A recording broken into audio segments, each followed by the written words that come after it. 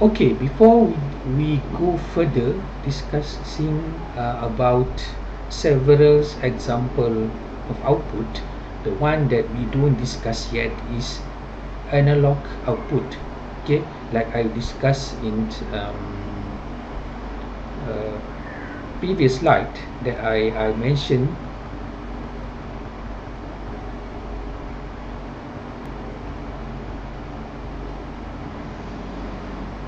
okay this slide as you can see in this slide the statement number three is there. Okay Arduino has digital output that can also be used to mimic analog output. So uh, in the previous lectures I hold this statement first because it's a little bit tricky to explain this thing. In okay in reality Arduino cannot provide the real analog output however what we do is actually we are manipulating the digital signals that generated by the Arduino port to mimic the analog output. Okay in this video lecture we will discuss about that. So let's go back to the the slide that discussed uh, uh, related to the outputs there which is this one okay so uh, in order for you to operate uh, of course I, I I share you some simple digital output where that is how you when you want to operate the LED to to to make it as a LED blinking.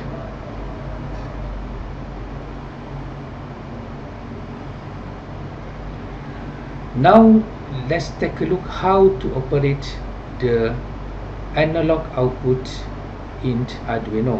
When I said analog output meaning that actually it's a digital signals that we manipulate that digital signals or digital output which will mimic the behavior of analog signals. In order for you to to operate the analog output again let me remind you. Okay let me remind back you in this slide. Okay I have discussed that in order for you to operate uh, the analog output you must the use you must use uh, the port that label with digital PWMs such as port number 11 port number 10 uh, and we also have port number 6 5 as well as 3 okay that is where you can uh, operate the analog output. Again uh, you can see as as the the labels there is a digital PWM okay digital PWMs is still a digital signals but by having what we call as a PWM it will mimic the behavior of analog signal or analog output. Again like I said in my statements there Arduino don't have don't have any digital output.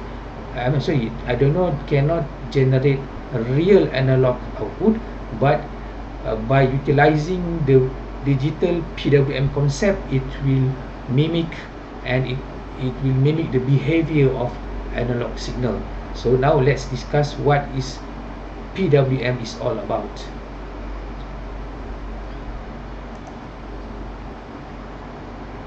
okay in order for you to to provide analog output by with, by using the concept of PWM this is the function that you need to familiar. Of course I I, I think you already familiar with digital read where that is for the input input uh, input port. And then you need also to familiar with digital write where that is actually for the purpose of to uh, to make um, digital output okay and then pin mode. Of course if you want to use uh, as the output you need to select uh, any pins that you want to use and then use you must use a function pin mode to select whether you want to use as an input or output. And in order for you to manipulate the PWM to mimic the analog signal you must familiar with this function what which is called analog write okay? So this that is in contrast with digital write digital write is for uh, for for if you want to operate uh, as digital output. But if you want to uh, use the analog output then you need to use the function analog write and again this function need to be used with the port which is labeled with digital PWM that I discussed in the previous slide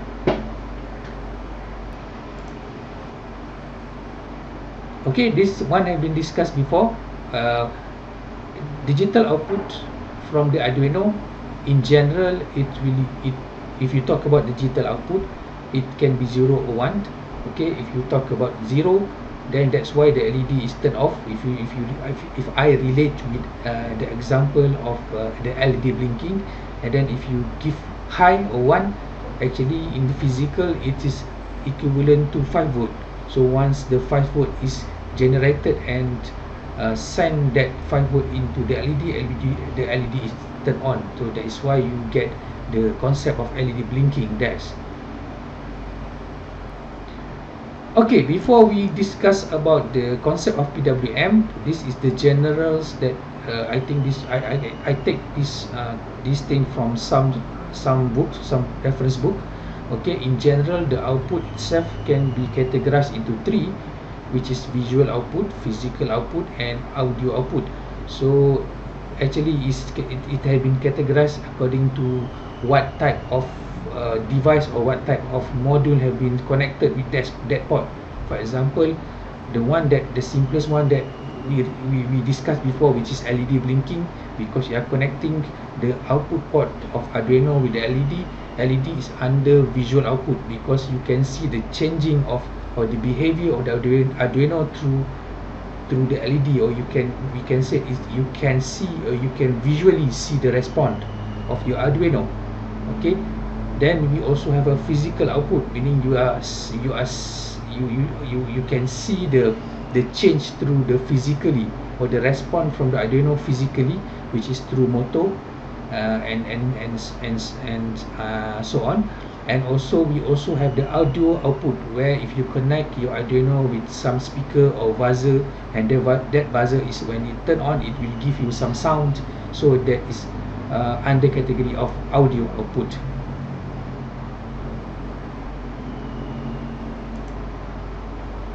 Okay now let's discuss about the simplest analog output. We still using the same LED concept to discuss this thing again this is where we try to discuss that what we call as a digital PWM that manipulate have been manipulated to mimic the behavior of analog output. Okay? Uh, I think this example you can uh, you you can search in uh, Tinkercad. It's it's it's already there. Okay? Okay to find that example again you need to type the Arduino and then you use you find uh, and you search for the one that called fit there FAD fit. Then you drag into the center areas there.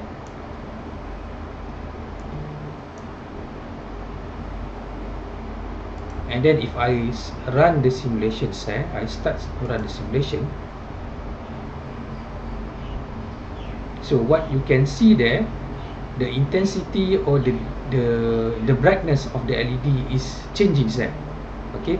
It will go from the dark to the high to to to to, to, to the brightest one or to the maximum bright brightness and then it keep reducing the intensity to from from the the the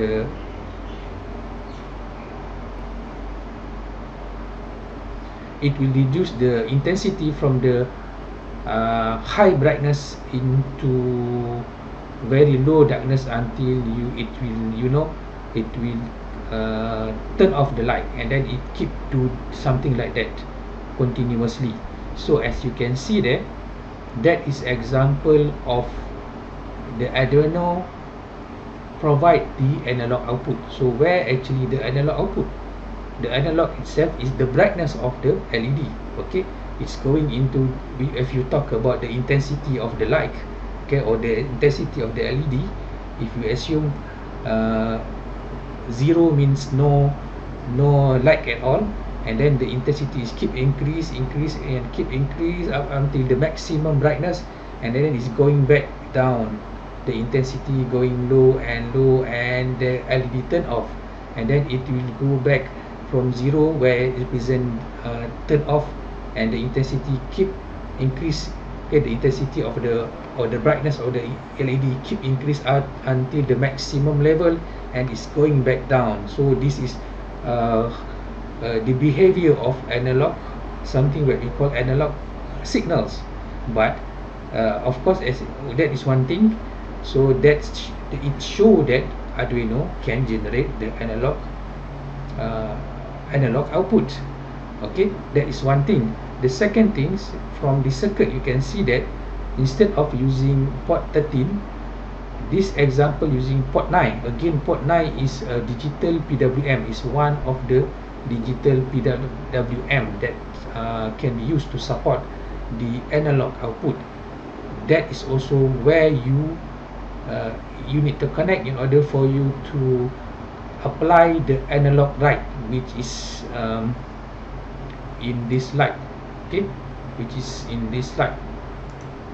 Again analog right uh, you can it it can generate the analog uh, analog signal uh, uh, analog signal uh, uh, I can set some digital anal digital signal that mimic the analog signal. So that's why I put a apostrophe there analog signal because it's not a real analog signal. And in order to apply this function analog right okay you need to use the port where that port is labeled as a digital PWM again. I remind you that. So that example if you check the codes there okay I just stop the simulation and we check the code. So that is the code. You can see that uh, how to uh, how to operate analog uh, output from this pin number 9 or port number 9 so again you need to set the pin mode pin number 9 or port number 9 as the output. And then uh, then you use the analog right functions there. Okay? Again uh, you can see that uh, this is how uh, the function works meaning that there's a two for loops there. One uh, okay if you check the for loops there this is the brightness okay? For brightness equal to zero. Again the highest value that can be achieved by this uh, this uh, analog is 255 is like uh, the, the concept is almost similar with the analog inputs there. The highest is 255 because 255 is 8 bit. So that 255 represent 5 volt again. And then uh, as you can see from brightness 0 and the brightness less than 25 or equal to 55 you do increment with, with your brightness with step step 5 there. Okay you stepping 5 plus 5 ahead. And then what you do you apply the analog right where the pin again pin number 9 and then this brightness value we put it here. So meaning that uh, it that is where that is how actually you do some increment there. Okay from 0 and then 5 10 15 up into 255 and then each loop here you put a delay. Because the purpose of delay there is to this if you don't put delay we cannot see the changing of the intensity. So that's why you put delay so it's like a pause to the codings and then once it's finished arrives at the 255 which is the highest intensity or the highest brightness of this LED this one will be executed and it will going back down from 255 to 0 so that is why you see the LED is keep changing the intensity level going from the dark to the the, the, the maximum bright or the, the maximum intensity and then from the maximum intensity going back into dark or turn off the LED so that, that's how it's work. Okay of course uh, this this explanation if you talk about the explanation itself that is how we, if you want to uh, develop some um, analog output. But the the story behind this analog output or, or the story behind this the function called analog right is actually they, they they use the concept of what we call again as a digital PWM so what is digital PWM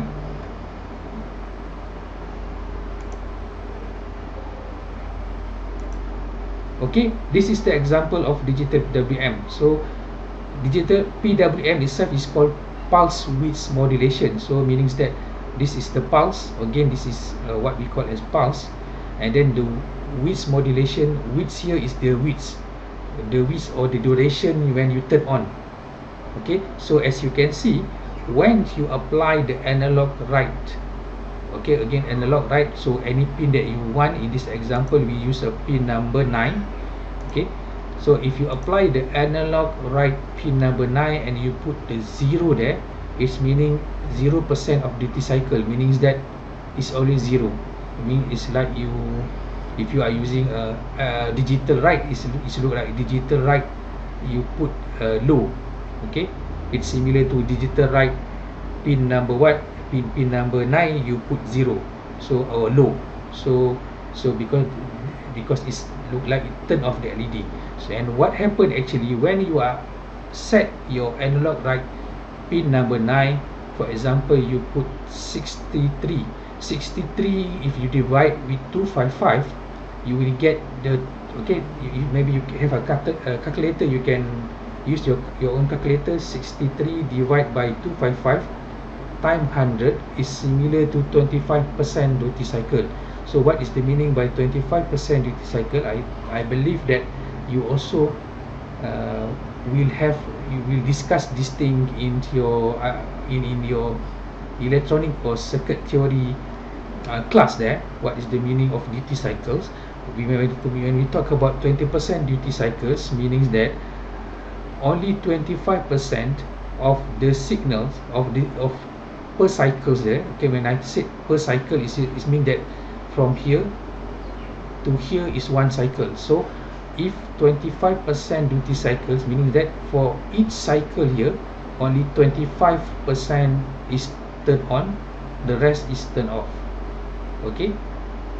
You can see that when you apply the analog right pin number 9127 divide by 255 time 100 is equal to half 50% so what happened 50% is for each cycles half of the cycle or 50% of the cycle is mm, is the duration where the the voltage provided by the input uh, by by the port number 9 is turned on and another remaining 50% is turned off.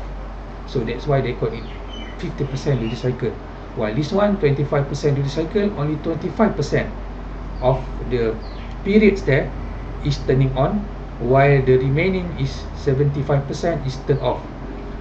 And if you talk about the the the maximum intensity where you apply you, you do analog right pin number 9 again and then you put 255 when you put 255 that is 100% duty cycle meaning that it's always turned on for every period. So this is equivalent to digital right pin number 9 high. So so again this is digital right uh, pin number 9 low. This is digital right pin number 9 high.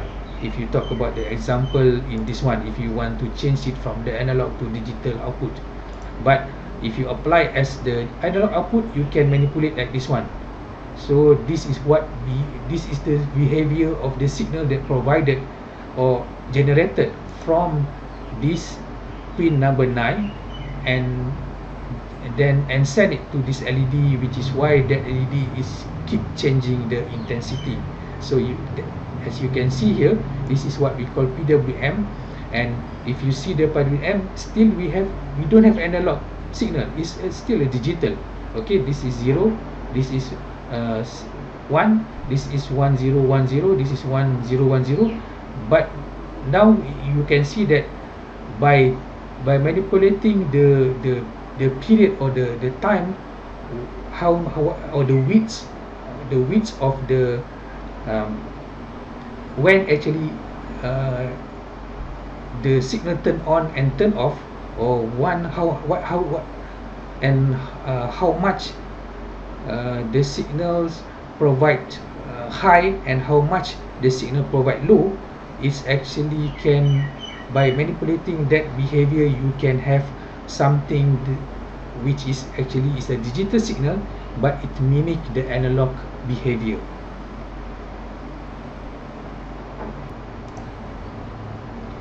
okay maybe this example is uh, quite complicated for you to understand how to operate the analog output. So let me change it into simplest way to to see the changings there. Okay how about we try to remove all the for loops so then we can see some simple way to operate the analog output. Uh, okay uh, because we, we we just want to understand the concept first before we go further into try to develop some which is uh, complicated and good for you to to to use it in your project.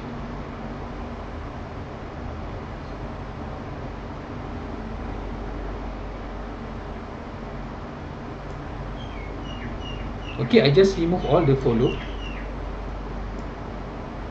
Okay then uh, we I think we don't use the the void loop. We can copy this function okay because we don't to we don't have to use this for loop. We because I think this function can be put in this setup because we want to it to run once. We don't need to to continuous running that things. So this is how okay you only have need two function there. You need to use one is spin mode to to set uh, this port as output and then you need to change the brightness there. Okay again um, I already remove this one. Let me remove this one. Then we just put the numbers there. Okay if I put zeros there means that it's like uh, what we have in this slide. Okay we have zeros there. Zero percent duty cycle. If I run the code so if I run the code of course the LED is turned off. Okay you cannot see nothing. You, you don't see nothing there because uh, zero duty cycle means that turn off always turn off. Then I I change it into let's say 25 or uh, 25% duty cycles. Okay 25 duty cycle is equal to 63 so I put it 63 okay you see there's a LED turn, turn on. But this one is uh, 25 duty cycles. Okay how about uh, I put it um, 1 to 7 which is 50% duty cycles okay it's the, the, the intensity is, is uh, higher than the previous one. Okay how about we put 100% duty cycles? So of course that is the maximum one which is 255 so that is the highest one that we can achieve. The the highest the maximum brightness that we can achieve which is 100% duty cycle. So by changing this value you can change the intensity of the uh, or the, the intensity of the LEDs